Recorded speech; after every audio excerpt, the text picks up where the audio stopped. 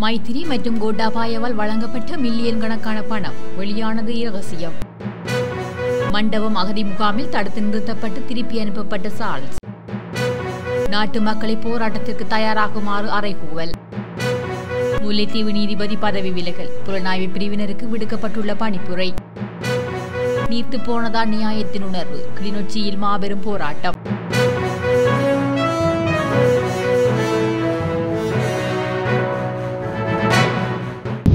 இலங்கையின் முன்னாள் ஜனாதிபதிகளான மைத்திரிபால சிறிசேனவும் கோட்டாபாய ராஜபக்சவும் தமிழ் மக்கள் விடுதலை புலிகள் கட்சியினருக்கு பணம் வழங்கியதாக அசாத் மௌலானா தெரிவித்துள்ளார். இறுதி யுத்த காலத்தில் அவர்களுக்கு மில்லியன் கணக்கான நிதி வழங்கப்பட்டதாகவும் அது மைத்திரிபால சிறிசேன மற்றும் கோட்டாபாய ராஜபக்சவினால் குறைக்கப்பட்டதாகவும் தெரிவிக்கப்பட்டுள்ளது. முதலில் மூன்று மில்லியன் முதல் ஆறு மில்லியன் வரை வழங்கப்பட்ட பணம் பின்னர் பெருமளவில் குறைக்கப்பட்டதாகவும் அசாத் மௌலானா தெரிவித்துள்ளார். கட்சியின் சார்பில் கொடுப்பனவுகளை சேகரித்து கட்சியின் தலைவர் பிள்ளையான் எனப்படும் சிவநேசத்துறை சந்திரகாந்தனிடம் கையளித்துள்ளதாகவும் அவர் தெரிவித்துள்ளார். இந்த பட்டியலில் போலி பெயர்கள் சேர்க்கப்பட்டிருப்பது பாதுகாப்பு அதிகாரிகளுக்கு தெரியாது எனவும் மௌலானா சுட்டிக்காட்டியுள்ளார். இந்த விவரங்கள் அடங்கிய ஆவணங்களை கொழும்பு மற்றும் ஜெனீவாவில் உள்ள இராஜதந்திர அலுவலகங்களுக்கு வழங்கியுள்ளதாகவும் தெரிவித்துள்ளார். தமிழீழ விடுதலை புலிகளை தோற்கடிப்பதற்கு தமிழ் மக்கள் விடுதலை புலிகள் கட்சியின் வழங்கிய ஆதரவிற்காக ஆட்சிக்கு வந்த அரசாங்கங்கள் தமக்கு உதவியமை இரகசியமல்ல என நாடாளுமன்றில் பிள்ளையான் தெரிவித்திருந்தார். எவ்வாறாயினும் ஈஸ்டர் ஞாயிறு தாக்குதல் தொடர்பாக அசாத் மௌலானா முன்வைத்த குற்றச்சாட்டுக்களை அவர் கடுமையாக மறுத்திருந்தமையும் குறிப்பிடத்தக்கது. இந்தியாவின் தமிழ்நாட்டில் அமைந்துள்ள இராமநாதபுரம் மண்டபம் அகதி முகாமிற்கு வன்னி நாடாளுமன்ற உறுப்பினர் சால்ஸ் நிர்மலநாதன் சென்றபோது அங்கு அவர் தடுத்து நிறுத்தி வைக்கப்பட்டுள்ளதாக தமிழக செய்திகள் தெரிவிக்கின்றன. அங்குள்ள நடைமுறைகளை பின்பற்றி சென்றிருந்த போதும் அவர் எதிரிகளை சந்திப்பதை முகாம் அதிகாரிகள் தடுத்து நிறுத்தியுள்ளனர் எனவும் தெரிவிக்கப்பட்டுள்ளது. மண்டபம் அகதி முகாமில் உள்ள ஈழத்தமிழர்களை கடந்த வியாழக்கிழமை சந்திப்பதற்காக சென்றிருந்த போதே அங்குள்ள அதிகாரிகளால் தடுத்து நிறுத்தப்பட்டு திருப்பி அனுப்பப்பட்டதாக குறிப்பிடப்பட்டுள்ளது. ஈழத்தமிழ் அகதிகளை சந்திப்பதற்கான வேண்டுகோள் தமிழர் தாயகத்தில் இருந்து விடுக்கப்பட்ட நிலையிலேயே அவர் இந்த முயற்சியை மேற்கொண்டதாக தெரிவிக்கப்படுகின்றது. மேலும் அகதி முகாமில் உள்ள அதிகாரிகள் தடுத்து நிறுத்தியமையால் ஈழத்தமிழ் அகதிகளை சந்திப்பதற்கான அவரின் முயற்சி முற்றுமுழுதாக நிராகரிக்கப்பட்டதாக கூறப்படுகின்றது. இந்த நிலையில் சம்பவம் தொடர்பிலான எந்த தகவலையும் தமிழக அரசு இதுவரையில் வெளியிடவில்லை. எனினும் அங்குள்ள நடைமுறைகளை பின்பற்றி சென்றிருந்த நாடாளுமன்ற உறுப்பினரை தடுத்து நிறுத்திய விடயமானது ஈழத்தமிழ் மக்கள் மத்தியில் அதிருப்தியையும் விசனத்தையும் உண்டாக்கியுள்ளது.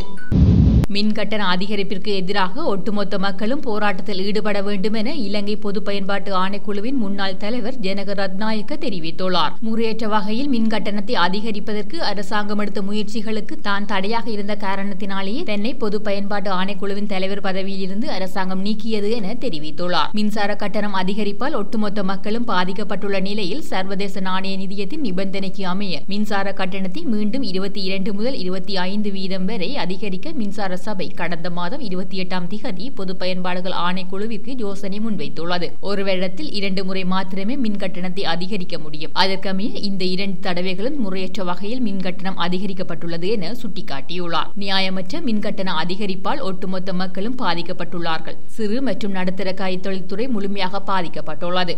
ஒட்டுமொத்த மக்களும் பொருளாதார நெருக்கடியாலும் வாழ்க்கை சுமை அதிகரிப்பாலும் பாதிக்கப்பட்டுள்ள நிலையில் மீண்டும் கட்டணத்தை அதிகரித்தால் மக்களின் நிலை என்னவாகும் என்பதை ஆட்சியாளர்கள் அவர்கள் சிந்தித்து பார்க்க வேண்டும் என்றும் தெரிவித்துள்ளார். இலங்கை பொது பயன்பாட்டு ஆணைக்குழுவும் எந்த அளவுக்கு சுயாதீனத்துடன் செயற்படும் என்பதும் தற்போது கேள்விக்குள்ளாக்கப்பட்டுள்ளது என்று தெரிவித்துள்ளார். ஆகவே மின் கட்டணத்தை மீண்டும் அதிகரிக்கும் அரசாங்கத்தின் முயற்சியை எதிர்த்து ஒட்டுமொத்த மக்களும் போராட்டத்தில் ஈடுபட வேண்டும் என தெரிவித்துள்ளார்.